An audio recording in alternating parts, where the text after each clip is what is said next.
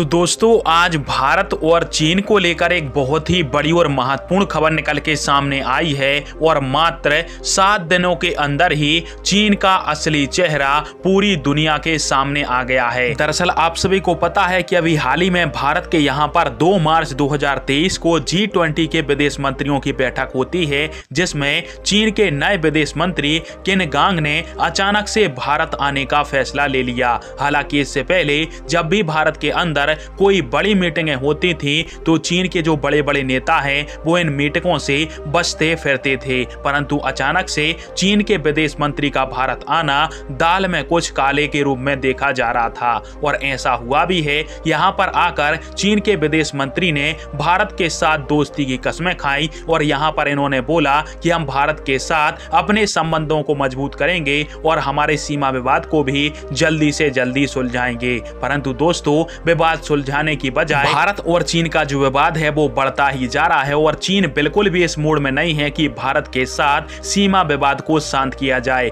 दरअसल अमेरिका के खुफिया विभाग की तरफ़ से एक रिपोर्ट सामने निकल के आई है, जिसमें यह जानकारी दी गई है कि चीन और भारत की एलईसी के ऊपर जिस प्रकार की परिस्थितियाँ बनी हुई हैं, उससे आगे चलकर भारत और चीन के बीच में किसी बड़े सैन्य टकराव का खतरा उत्पन्न हो गया है और चीन जिस प्रकार से एलएसी के ऊपर भारतीय सैनिकों को उकसाने का काम किया है तो इससे भारत और चीन के बीच में संघर्ष बनने का जो खतरा है, वो और भी ज़्यादा बढ़ चुका है। वैसे भी हाल ही में भारत सरकार के द्वारा यह हाईलाइट जारी किया गया है कि कोई भी भारतीय सेना का जवान चीनी मोबाइलों का इस्तेमाल न करे, क्योंकि चीनी सेना इन मोबाइलों के माध्यम से भारतीय सैनिकों की जासूसी कर रही है। फ़िलहाल में चीन के जो विदेश मंत्री भारत के अंदर आकर शांति का ढोंग करके गए हैं, वो सिर्फ़ चीन का एक दिखावा था भारत को बहलाने फुसलाने के लिए। और असलियत में चीन जो कर रहा है, वो तो पूरी दुनिया ही जानती है। पर आप सभी को क्या लगता है और क्या आगे चलकर भारत और चीन के संबंध नॉर्मल हो पाएँगे? हाँ या फिर ना? कमेंट बॉक्स में प्रिय वीडियो देखने के लिए धन्यवाद।